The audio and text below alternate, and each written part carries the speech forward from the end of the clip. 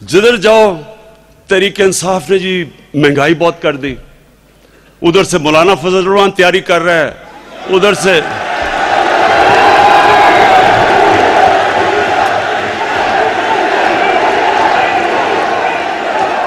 ادھر سے ادھر سے نون لیگ کے کوئی ہر ہر روز وہ بیٹھتے ہیں، وہ شور مچا دیتے ہیں کہ جی اتنی مہنگائی کر دی۔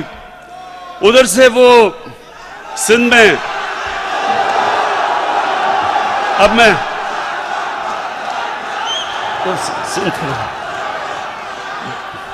بلاول بھٹو صاحب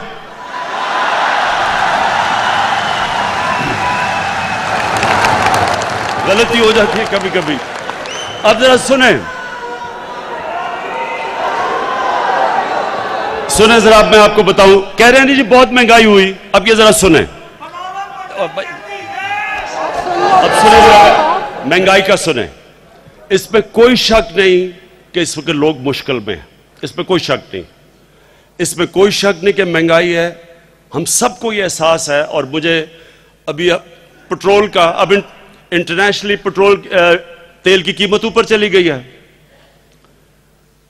اب جب اوپر چلی گئی ہے تو اب ہمیں قیمتیں اگر ہم نہیں بڑھاتے تو ہمارے قرضے بڑھ جاتے ہیں۔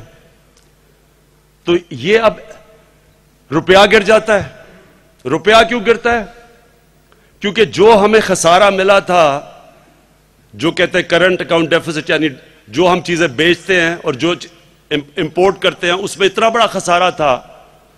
انیس ارب ڈالر کا خسارہ ملا تھا۔ جب نون لیگ آئی تھی، ان کو ڈھائی ارب ڈالر کا خسارہ ملا تھا۔ ہمیں انیس ارب ڈالر کا خسارہ ملا۔ اس کا مطلب کہ جب آپ کا اتنا بڑا خسارہ ہوتا ہے تو روپے پہ پریشر پڑ جاتا ہے روپے کم ہو جاتا ہے۔ ڈالر کم ہوتا ہے۔ روپے کی قیمت گر جاتی ہے۔ جب روپے کی قیمت گرتی ہے، ساری چیزیں مہنگی ہو جاتی ہیں۔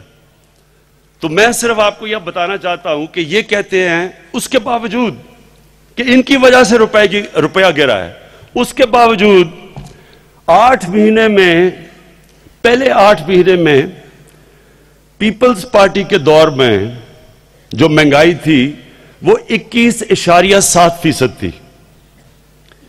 نون